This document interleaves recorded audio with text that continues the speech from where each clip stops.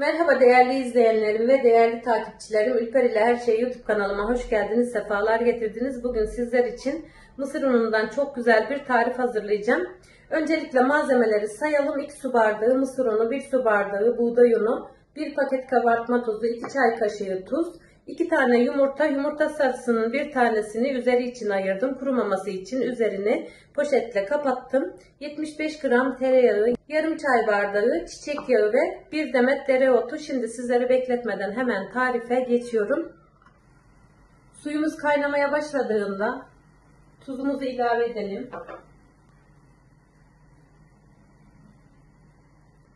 Daha sonra 2 su bardağı mısır ununu da ilave ettikten sonra güzelce karıştıra karıştıra kısık ateşte hamurumuz kıvam alıncaya kadar pişirelim.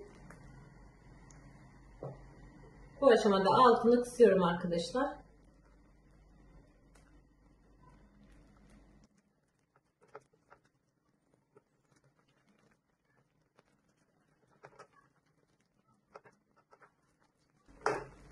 Biraz karıştırdıktan sonra tereyağını da hemen ilave edelim.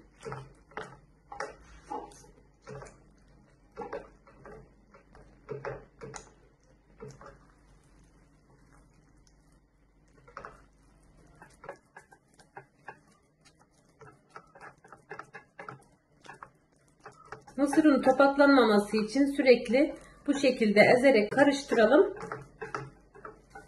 Evet un, su, tuz, tereyağı ve mısır ununu karıştıra karıştıra kıvam alıncaya kadar pişirdik. Kıvamı tam da istediğim gibi bu şekilde olması gerekiyor. Evet istediğim kıvam oldu. Şimdi ocağın altını kapatalım. Hamurun daha kolay soğuması için farklı bir kaba aktarıyorum arkadaşlar. Pişirdiğimiz hamurun kaymak tutmaması için ve daha kolay soğuması için ara sıra karıştırarak havalandıralım.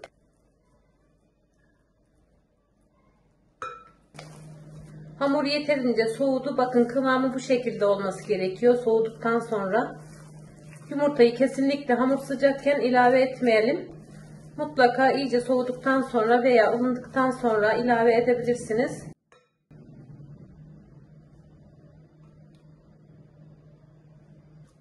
Önce hamura yumurtayı yedirelim.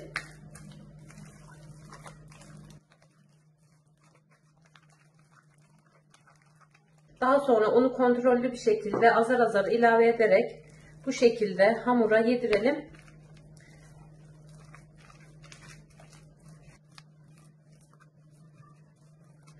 Bu aşamayı elinizle de yapabilirsiniz. Biraz önce malzemeleri sayarken beyaz peyniri unutmuşum. Küçücük bir kase beyaz peynir ilave ediyorum. Yarım çay bardağı sıvı yağ. Kabartma tozunu da ilave ettikten sonra tekrardan karıştıralım.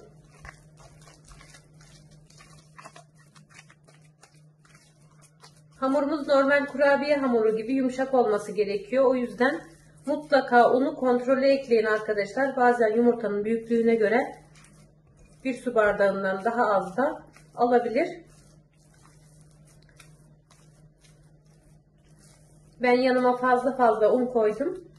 Belirttiğim gibi kontrollü bir şekilde hamurumu kıvama aldırdım. Şimdi ince ince doğramış olduğumuz dereotunu da ilave ettikten sonra tekrardan karıştıralım.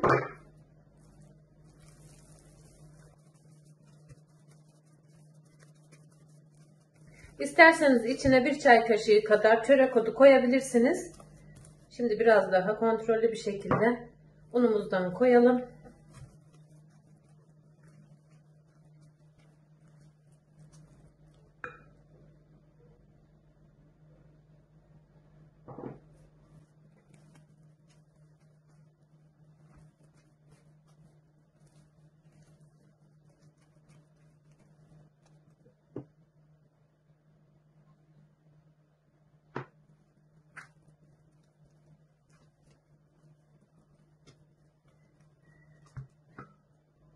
Bardağın dibinde kalan sonunu da ilave ediyorum. Tam bir su bardağı un gitti. Belirttiğim gibi mısır ununun kalitesine ve markasına göre veya yumurtanın büyüklüğüne küçüklüğüne göre daha az veya daha fazla da un gidebilir. Yani 1-2 kaşık arada oynayabilir arkadaşlar. O yüzden her zaman kontrollü olmakta fayda var. Evet hamurumuzun kıvamı bu şekilde. Gördüğünüz gibi yumuşak bir hamur. Yanıma bir yemek kaşığı kadar sıvı yağ aldım. Şöyle kaşığımı sıvı yağla güzelce yağlıyorum. Kaşıkla ceviz büyüklüğünde hamurları koparıp bu şekilde tepsime yerleştiriyorum. İstediğiniz büyüklükte yapabilirsiniz. Tepsiye koyduktan sonra şöyle üzerini birazcık düzeltelim. Her defasında aynı şekilde kaşığımızı yağa batıralım.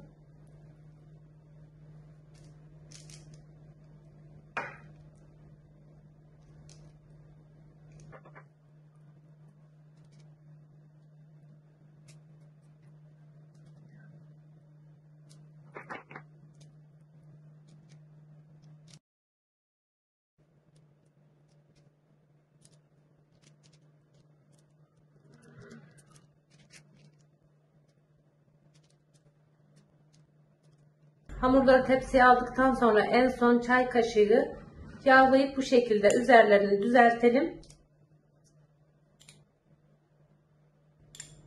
Çok da düzgün olmasına gerek yok sevgili izleyenler. Birazcık şöyle üzerindeki pütürler gitti mi yeterli.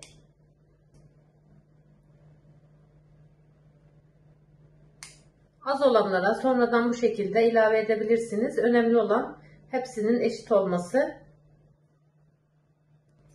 Önceden ısıtılmış alt üst ayarlı 180 derece fırında yumurtasını sürdükten sonra pişireceğim. Böyle güzel tariflerin gelmesi için videomu beğenmeyi, yorum yapmayı, kanalıma hala abone olmadan izliyorsanız da abone olmayı unutmazsanız çok sevinirim. Biliyorsunuz sevgili arkadaşlarım daha önce de sizlerle paylaşmıştım. Ülper Yılmaz adında vlog kanalım var. Ayrıca ona da abone olursanız sevinirim. Evet bu şekilde bitti. Ayırmış olduğumuz yumurta sarısının üzerine bir yemek kaşığı kadar sıvı yağ ilave edelim. Ve güzelce çırpalım. Şimdi hepsinin üzerlerine bu şekilde yumurta sarısını sürüyorum.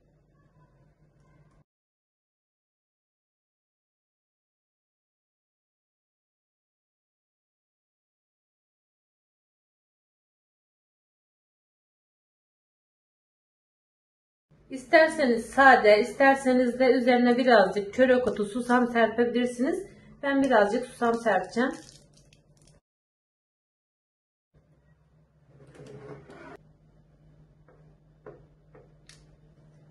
...40 dakikanın sonunda poğaçalarımız çok güzel pişti. Altı üstü nar gibi kızardı.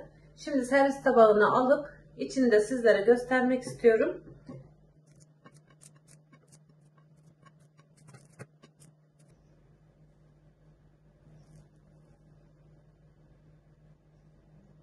İçi de bu şekilde. Umarım sizler de bu güzel tarifi yapar, dener ve beğenirsiniz.